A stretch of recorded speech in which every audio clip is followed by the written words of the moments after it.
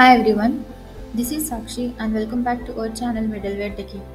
In this session, we'll learn about number ranges. So the number ranges in SAP Cloud Integration are important for maintaining data integrity and consistency in various integration scenarios. Number ranges basically generate unique or sequential numbers much like counters in programming languages like CPP or Java. So what happens in number ranges is Basically, the system stores any lost increment values ensuring that numbering continues without any gaps. Consider an example. If a number is skipped today, it won't be reused tomorrow. The next message will start from where the sequence left off. In SAP Cloud Integration, number ranges are used to create identifiers, track transaction sequences, or ensure uniqueness in message processing. Common use cases includes generating unique order IDs or creating sequential invoice number, helping to maintain proper order and avoid duplicates in your integration flows. Let's see by practical example how number ranges works. So before creating any integration flow, let's first create a number range. So to create number range, go to monitor section and in that go to integration and APIs. Scroll down and in the manage stores you can see number ranges. Click on that. And let's add one number range here. So here I want to show how number ranges works for book IDs so here I will give name as book range.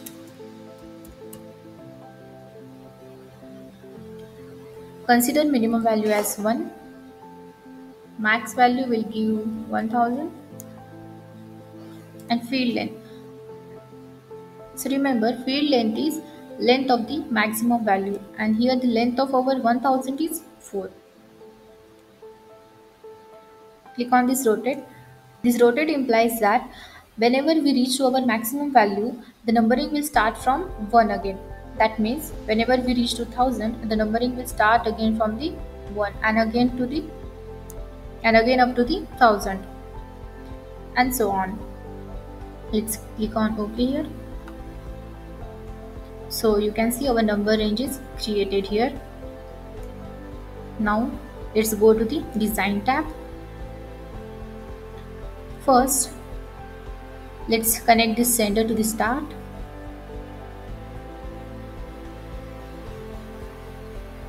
As usual https adapter give here address. I am giving name here as number range demo. Keep other things as it is. Again condition as it is. Now let's add one content modifier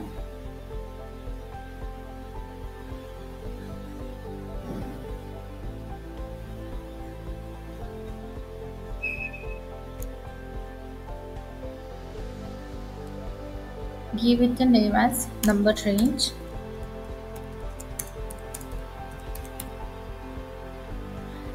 now we'll store one property here. Let's add the property. We can give name here as book counting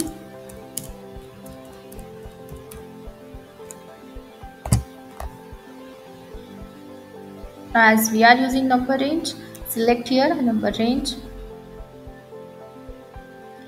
now here for the source value we need to add whatever name we have given to a number range that is book range. So copy this value here and paste in source value. This is it. Now in message body we need to add here payload for our one book document. So let's take it from the github. You can find the github link in description section and you can copy the payload from here. So i'm copying this first record. So this basically includes details of books in the library. And the, for the for the first book the id is 101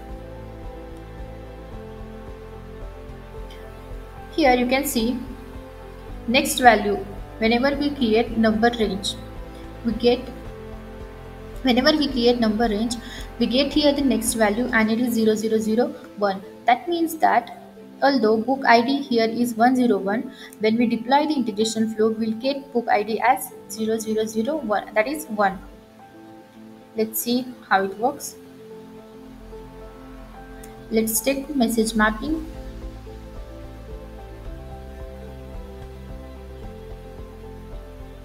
add after the content modifier and I'm giving here name as mm number range. This mm stands for message mapping. Let's create it. Here for the source and target message you will require XSD file which contains data of that library. This file again you can get from github account. Here book.xsd is the name of file. Let's add source message.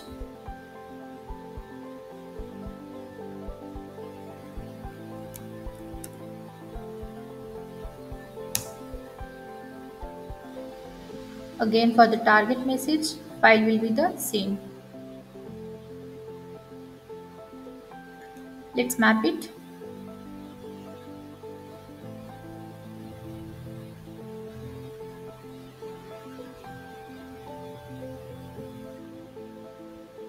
Map every element. And now for book id what we'll do is delete this. And here search for the function get property.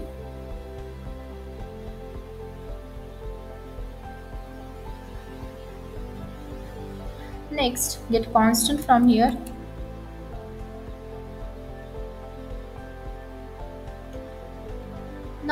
in place of constant add the property here and we have given property name as book counting.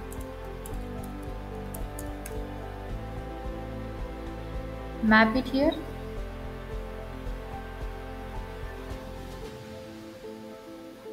Again this map for the book ID. Okay. So let me explain why we have given here get property. So what are we doing here is we are fetching the property by using this get property function and mapping it to our book id this means that in the book counting we have stored our number range and that number range is mapped to book id and so whenever we deploy the integration flow instead of 101 book id we'll get book id as 0001 or 1 let's save it click on OK.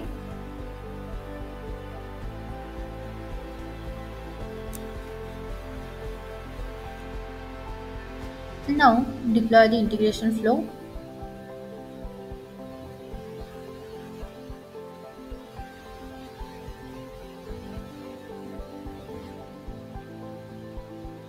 So here you can see this message mapping is not connected. Let's connect it first.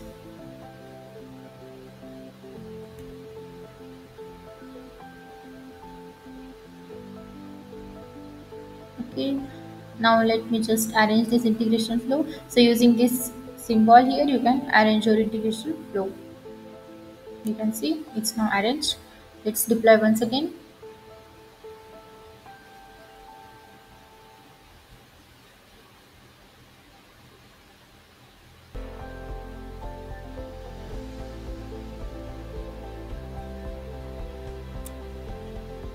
to navigate to manage integration content to get the endpoint. Let's copy this endpoint. Go to your postman. Paste the endpoint here. Let's check authorization. Oh, you can see the environment is not selected here. Select our environment. And now select basic auth here give your username and password.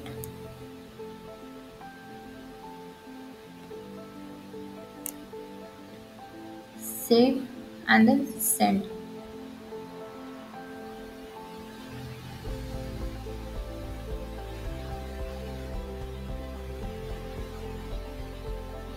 Okay so we got response as 200 okay. So here you can see our book id is 0001 and that is what we want in our output. Now you may wonder what happened if i in the payload. Now let's add here one more book. Let me just copy from here. I'm adding this book here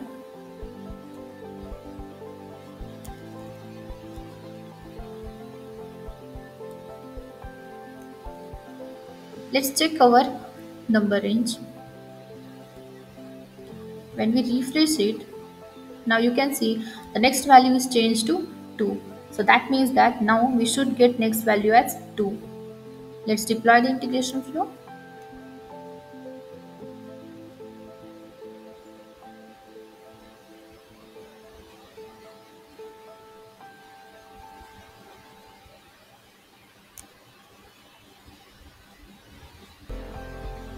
we can just remove this receiver from here. Okay so the integration flow is deployed. Go to the postman send it again.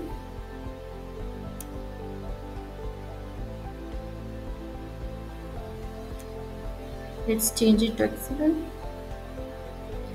Now you can see the book id is 0002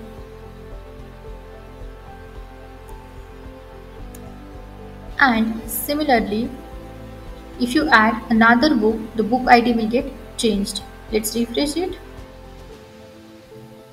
You can see the next value is 0003 and this is our number range. Whenever you add new number of any record in your document you'll get the value as next value and not the previous one and neither the value you put in your payload. And this is why we say that the system stores any lost increment values ensuring that numbering continues without any gaps and I have given one example that if a number is skipped today, it won't be reused tomorrow and the next message will start from where the sequence left off. So this is all about number range and this is it for today. Thanks for watching the video and if you like this video, please subscribe to our channel. We'll see you in the next session. Thank you.